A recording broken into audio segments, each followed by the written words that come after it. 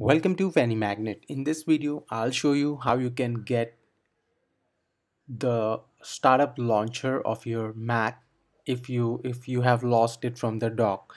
As you can see on the screen, uh, I do not have the launcher here. So how you can if you have lost by some mistake, how you can get it back. So there are two ways. One, you can just open any folder and you can go to application. This is the one in case if you do not have any folder on the desktop in that case you can go to finder preferences and click on hard drive.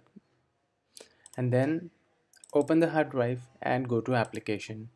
Under the application folder uh, if you realize this is the same folder as we open you know using a folder.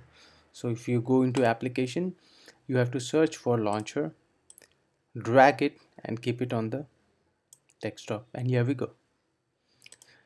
Thank you for watching the video